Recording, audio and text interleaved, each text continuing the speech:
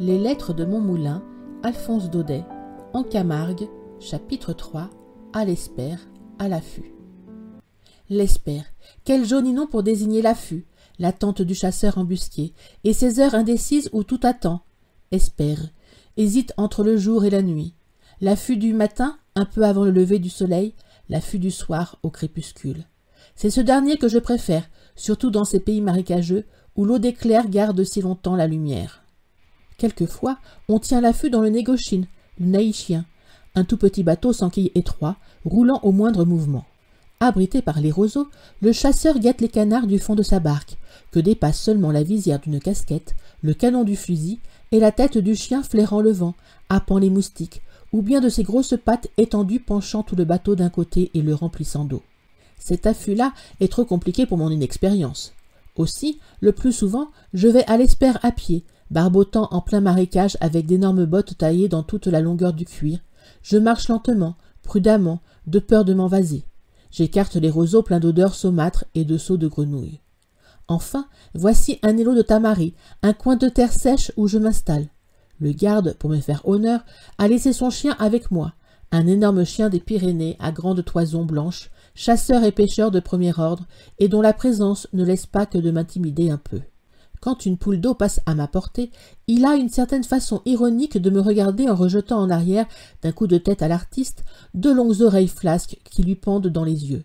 Puis des pauses à l'arrêt, des frétillements de queue, toute une mimique d'impatience pour me dire Tire, tire donc Je tire, je manque.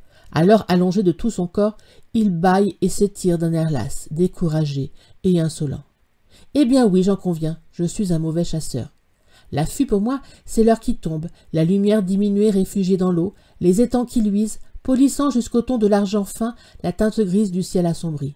J'aime cette odeur d'eau, ce frôlement mystérieux des insectes dans les roseaux, ce petit murmure de longues feuilles qui frissonnent. De temps en temps, une note triste passe et roule dans le ciel comme un ronflement de conque marine.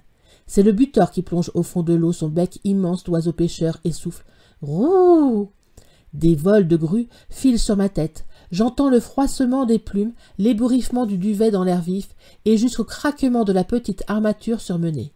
Puis, plus rien. C'est la nuit, la nuit profonde avec un peu de jour resté sur l'eau. Tout à coup, j'éprouve un tressaillement, une espèce de gêne nerveuse, comme si j'avais quelqu'un derrière moi. Je me retourne, et j'aperçois le compagnon des belles nuits, la lune, une large lune toute ronde qui se lève doucement, avec un mouvement d'ascension d'abord très sensible et se ralentissant à mesure qu'elle s'éloigne de l'horizon. Déjà un premier rayon est distinct près de moi, puis un autre un peu plus loin. Maintenant, tout le marécage est allumé, la moindre touffe d'herbe à son ombre. L'affût est fini, les oiseaux nous voient, il faut rentrer.